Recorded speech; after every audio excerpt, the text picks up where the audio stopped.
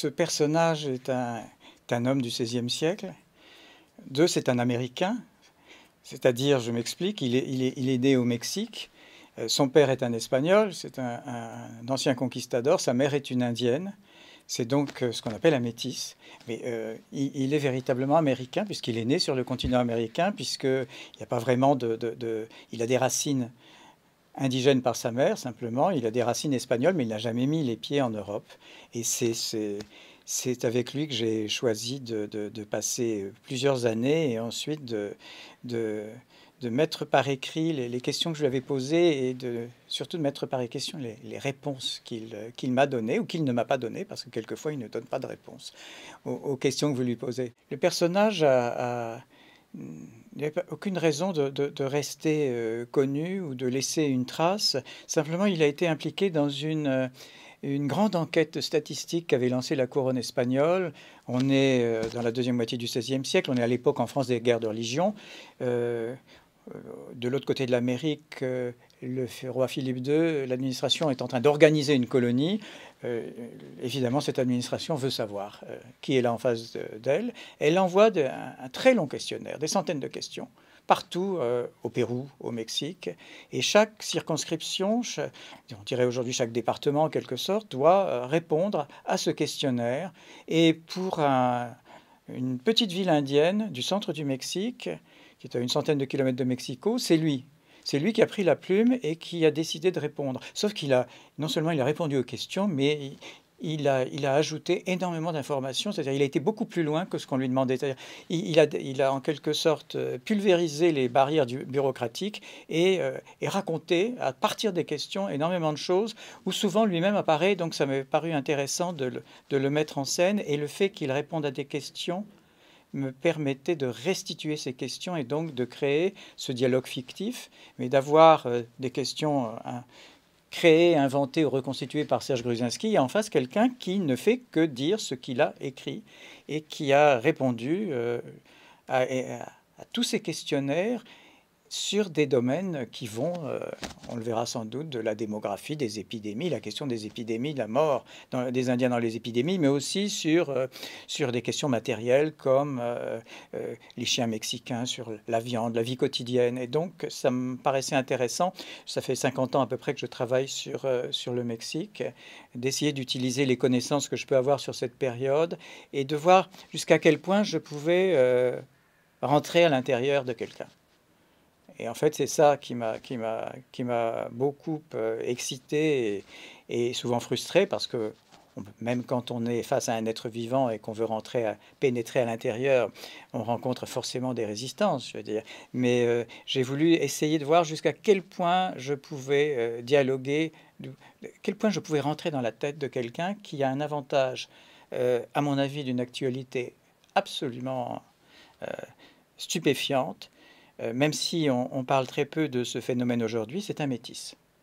Et je pense que, et j'ai écrit ce livre en grande partie à cause de ça, pour remettre sur la table la question du métissage, qui est aujourd'hui une question taboue, un mot qu'on n'emploie jamais euh, sur les médias. Euh, qui fait peur à la presse. Je veux dire, ce, livre fait peur euh, à la presse parce qu'on ne veut pas parler des métis et du métissage, alors que euh, je viens euh, d'être conduit chez vous par un chauffeur de taxi tunisien qui me disait qu'il était à la fois français et tunisien. Et donc, voilà, le métissage, il est là, et dans nos sociétés qui sont les sociétés du 21e siècle, les sociétés métisses ne sont plus les sociétés mexicaines ou péruviennes, ce sont nos sociétés. Et donc, qu'est-ce qui se passe dans la tête d'un type?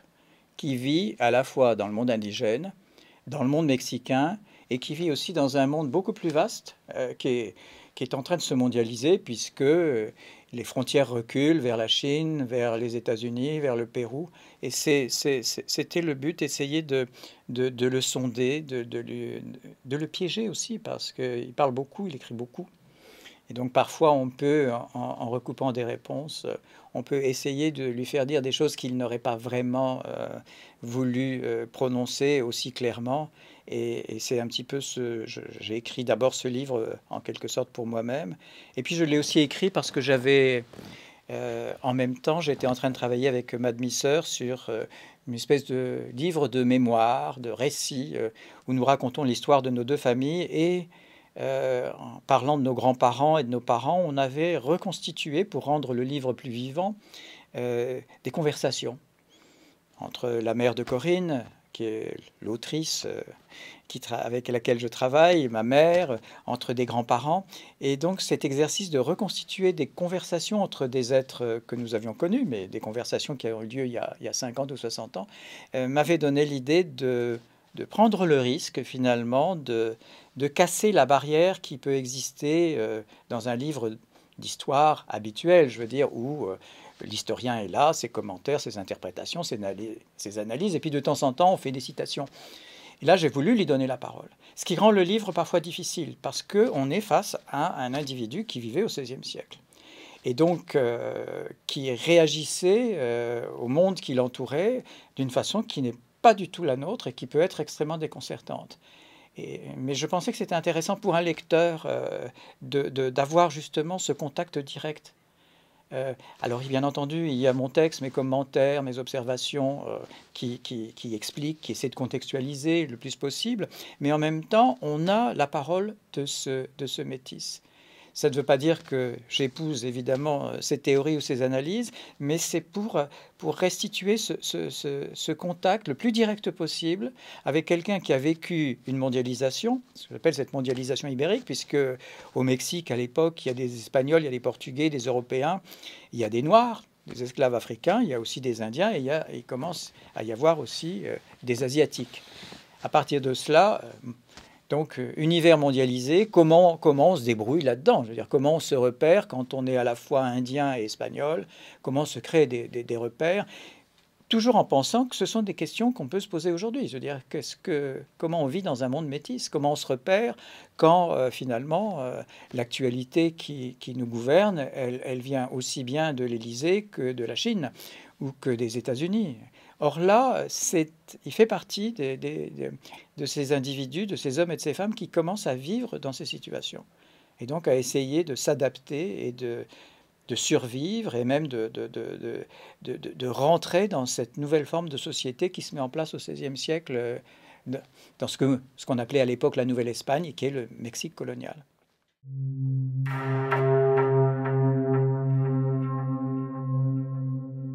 Métissage est lié, euh, et on le voit aussi dans notre pays aujourd'hui, je veux dire, métissage et colonisation sont toujours associés. métissage ne veut pas dire égalité entre les sociétés, entre les cultures, ça c'est ou diversité culturelle et, joyeux melting pot toujours dans toutes les sociétés des rapports de force, qu'elles soient multiculturelles ou qu'elles ne le soient pas. Et là, évidemment, c'est un pur produit de ce monde colonial, mais c'est à la fois un produit du monde espagnol son père est un conquistador, son père est un homme d'affaires, c'est un très gros éleveur, euh, fait énormément d'argent. Euh.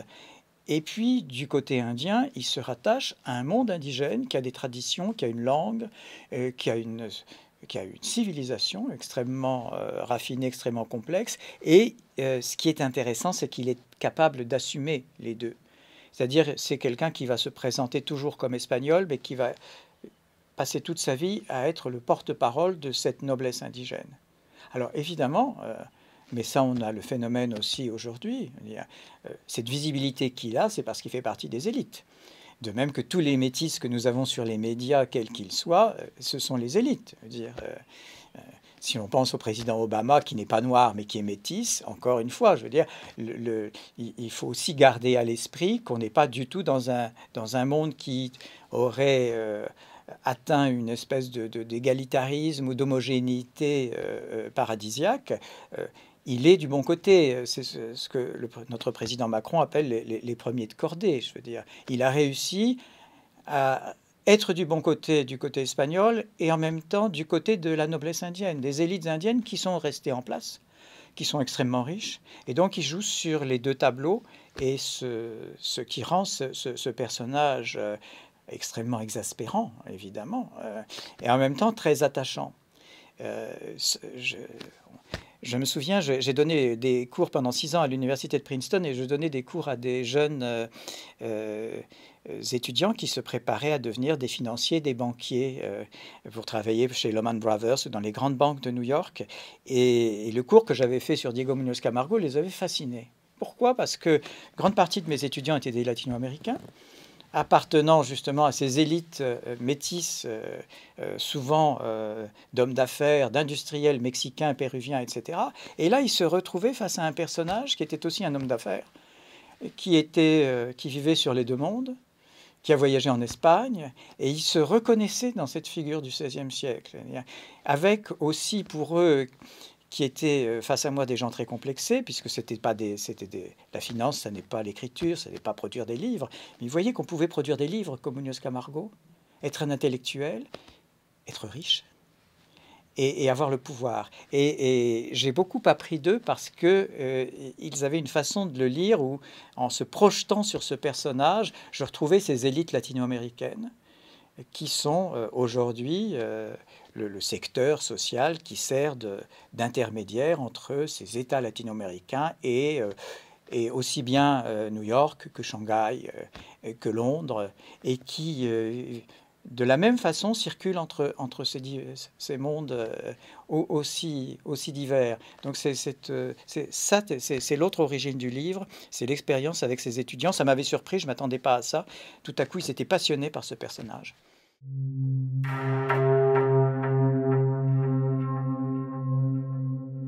D'une part, euh, toutes, les, toutes les réponses données par Munoz Camargo sont son texte euh, tel quel. Et, je dirais qu'à la limite, ce serait plus intéressant de pouvoir le lire en espagnol, puisqu'on aurait la langue, la langue du personnage. Donc ça, c'est une chose. Deuxièmement, j'essaie d'utiliser... Euh, de la manière la plus positive et positiviste possible mon savoir d'historien, c'est-à-dire pour toujours recadrer, pour donner des éléments de compréhension de ce qu'il dit, euh, pour indiquer aussi ce qu'il ne dit pas, parce qu'il euh, pratique aussi euh, la political correctness. Il n'est pas question de parler contre le roi d'Espagne, il n'est pas question de parler contre l'administration, il n'est pas question, etc. Simplement, on peut, en, grattant un petit peu, on peut, on peut, on peut, on peut soulever un peu le masque. Aussi, se rendre compte, d'une part, et aider le lecteur à voir ce qu'il ne dit pas, parce que ça ne l'intéresse visiblement pas. C'est quelqu'un, par exemple, qui n'a aucun intérêt pour le monde des esclaves, le monde africain, etc. Il a des esclaves sur ses exploitations. Euh, il, emploie des esclaves africains, mais c'est pas un monde qui l'intéresse. Mais aussi euh, mettre l'accent sur des choses qui nous surprennent. Dire, c'est quelqu'un qui cite, euh, qui se réfère au divin Platon, qui cite la lettre de Platon à Archytas de Tarente, veux dire c'est quelqu'un qui connaît Plutarque. C'est-à-dire, et c'est ça aussi, euh, je donnais l'exemple de Princeton qui, intéressait, qui séduisait mon, mon éditoire de, jeunes financiers, euh, il manie une culture classique euh, que nous, nous n'avons plus.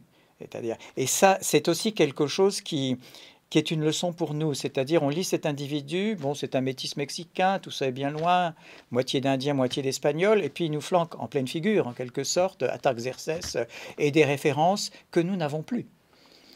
C'est-à-dire qu'il y a un niveau de culture en même temps, euh, et dans ce niveau de culture, il dit que, euh, il reprend une phrase de Platon qui dit que euh, la plus belle chose dans la vie, c'est de servir sa douce patrie et, il y a donc un engagement patriotique, il y a une réflexion, euh, il y a une utilisation de ce bagage humaniste qui ne l'empêche pas évidemment d'être du côté des colonisateurs. Mais ça, c'est toute la complexité et c'est surtout ce qu'on ne veut pas voir aujourd'hui de cette période.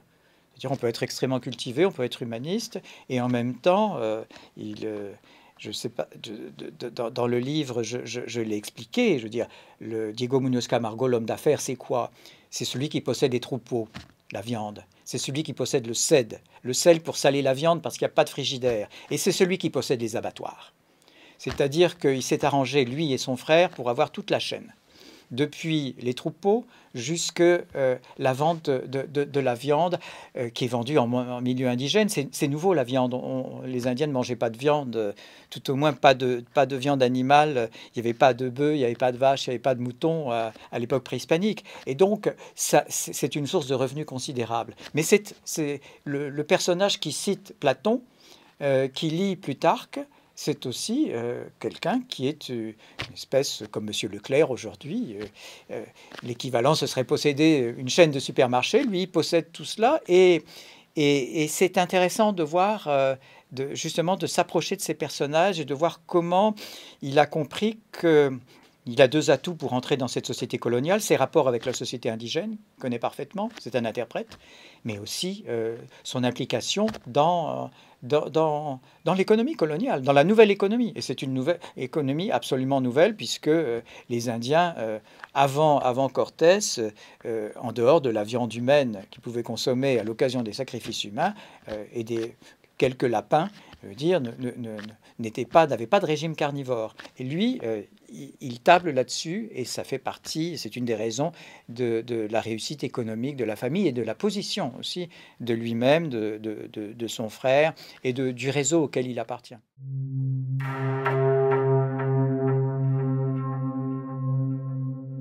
Je l'ai fait parce que je pense que pour, euh, pour étudier une mondialisation, pour étudier un processus global, on ne peut l'étudier que, localement. D'où j'ai choisi cet endroit qui s'appelle Tlaxcala, qui est une, quelque chose de très curieux puisque c'est une république indienne. Les Tlaxcaltèques avaient osé, aider les Espagnols à faire la conquête du pays, ils ont été récompensés, ils avaient une espèce d'autonomie. Et donc, j'ai mis le projecteur localement, micro-histoire, mais aussi parce que pour comprendre les métissages, les métissages, ça se passe à l'intérieur de chaque individu. C'est ça la difficulté, c'est pour ça qu'on ne veut pas parler de métissage, c'est trop compliqué aujourd'hui. On aime bien que les gens soient blancs ou noirs, mais on n'aime pas qu'ils soient entre les deux. Et pour étudier euh, de près ce processus, il faut non seulement faire de la micro-histoire, comme Carlo Ginzburg, mais de la micro-histoire sur des personnages qu'on peut euh, disséquer en quelque sorte. Et là, on peut disséquer ce personnage jusqu'à un certain point. C'est-à-dire voir comment il essaie de trouver un équilibre entre des références euh, pré-cortésienne, préhispanique, amérindienne, des références européennes, comment il, joue sur les cartes politiques en même temps, il joue sur euh, le positionnement économique, avec des équilibres qui sont toujours extrêmement difficiles. Pour, pour peser, pour essayer de définir ces équilibres, euh, il, faut, il faut prendre le microscope. Pour ça, c'est l'idée d'une micro-histoire. Et on ne peut faire de l'histoire globale, encore une fois, ou de l'histoire mondiale, euh, qu'en regardant de très près ce qui se passe localement. C'est la même chose aujourd'hui, je veux dire. C'est ce qui se passe à la limite dans ce studio. Euh, c'est ici qu'on peut étudier l'histoire globale. Sans ça, on se perd dans des généralités, dans, euh, une échelle planétaire où on finit par dire des, des banalités ou finalement à ne, rien dire du tout. D'où aussi ce, parti pris. Je, relisais l'œuvre noire de Marguerite Yourcenar et euh, elle s'est beaucoup intéressée à un personnage qui s'appelle Zénon. Et dans les notes qui accompagnent l'œuvre noire, elle explique les difficultés qu'elle a eues pour pénétrer l'homme intérieur. Et c'est cet homme intérieur qui m'intéressait. Sauf que Zénon, euh, si on, on le, pour les gens qui ont lu ce magnifique ouvrage, c'est un un homme du XVIe siècle, un humaniste du XVIe siècle. Là, on est face à quelqu'un qui est beaucoup plus proche de nous parce que c'est un métis. C'est quelqu'un qui est à la fois, c'est un Américain, comme je l'ai dit, c'est à la fois qui, est à la fois quelqu'un qui est le porteur de toute une tradition indienne et qui est en même temps le porteur de, de cet eurocentrisme, de l'occidentalisation, de la christianisation, enfin, qui porte les deux à la fois.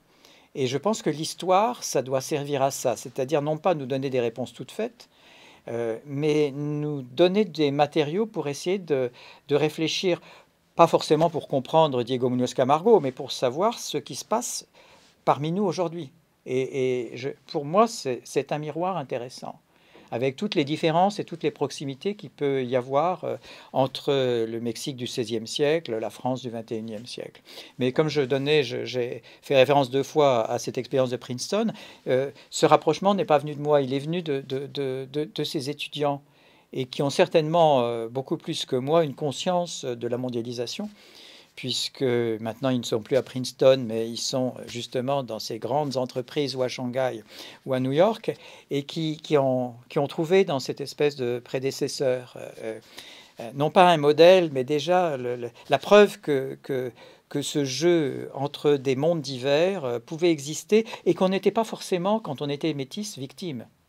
Qu'on pouvait très bien, comme Munoz Camargo, prendre les choses en main et, contrôler la situation. Et c'est ça qui est intéressant chez, chez Munoz Camargo. Il arrive dans une situation extrêmement compliquée à, maintenir euh, l'équilibre entre, les mondes qu'il qu'il fréquente tous les jours.